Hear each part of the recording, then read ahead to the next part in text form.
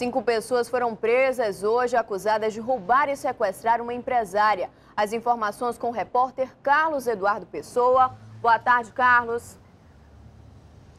Olá, Larissa. Boa tarde para você também. O mentor da quadrilha era o próprio funcionário da loja de FAO Materiais de Construção, que fica no centro de Manaus. O nome dele é Bruno César Xavier da Silva, de 24 anos. Eles começaram sequestrando a empresária dona da loja no dia 29 de novembro. No dia 13 deste mês, eles praticaram um assalto na mesma loja da empresária.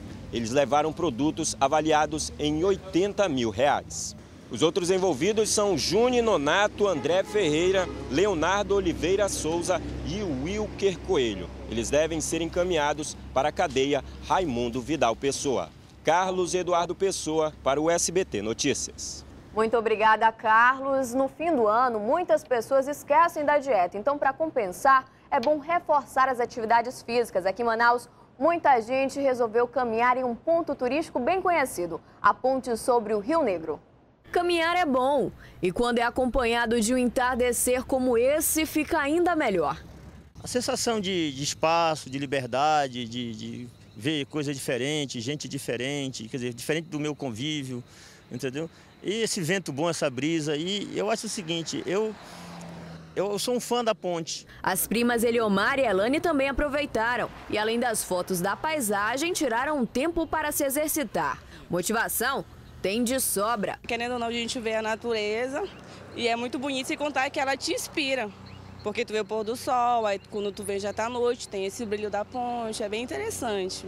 É um ambiente que a gente respira um ar livre, isso me atrai muito. Cada vez mais a Ponte Rio Negro tem se tornado um ponto de encontro em comum entre as pessoas que praticam o Cooper, a famosa caminhada. Estudos mostram que pelo menos 40 minutos do exercício já são capazes de reduzir a pressão arterial durante 24 horas após o término da atividade. E se é para ter saúde, esse cobrador trouxe logo a família toda. Muito bom, né? Você pode desfrutar da natureza, ao ar livre aqui, praticar o esporte. Né? Também é um ambiente para é, melhorar a convivência em família? Com certeza, com certeza, para melhorar a convivência com a família.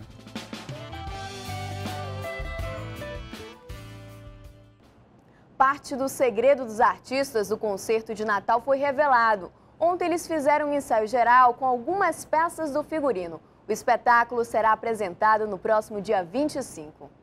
Ontem tudo virou festa por aqui. O figurino dos artistas rendeu olhares curiosos de quem passava pelo Largo São Sebastião, no centro de Manaus.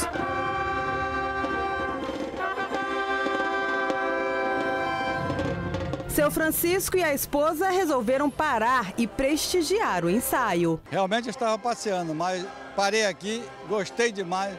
É um espetáculo maravilhoso. Realmente, Manaus está de parabéns, né? Nós todos, por podermos assistir uma, um espetáculo tão grandioso como esse. E olha que era só uma prévia do que será apresentado no dia 25, a partir das 7 horas da noite, no Teatro Amazonas. Cerca de 4.500 pessoas, entre bailarinos, atores e músicos, estão ensaiando há meses. A estrutura para o espetáculo é toda especial, produzida por uma empresa americana que já trabalhou para para grupos conhecidos em todo o mundo, como Disney e Universal Studios. O concerto, além de abrilhantar a noite de Natal, ajuda na renda de vários profissionais. Mais de 20 mil empregos indiretos, as pessoas trabalhando, costureiras, maquiadores, cabeleireiros, ferreiros, pintores, carpinteiros, eletricistas, jornalistas, tradutores, intérpretes, um sem número de profissionais atuando para que nós pudéssemos construir esse espetáculo que tem 4.500 artistas em cena. Os artistas vão continuar os ensaios para que tudo saia dentro do esperado. Ainda temos aí dois dias de bons ensaios, dois dias de repetição de cenas, de correção de, de equívocos e de ajustes para fazermos um belo espetáculo no dia 25, para o qual você é nosso convidado. 19 horas, mas se você chegar a partir das 4, já tem show rolando. Venha, gratuito, aceite o nosso convite com toda uma infraestrutura adequada para ele receber cadeiras, banheiros, segurança, limpeza, todas as condições para você participar de uma festa de Natal.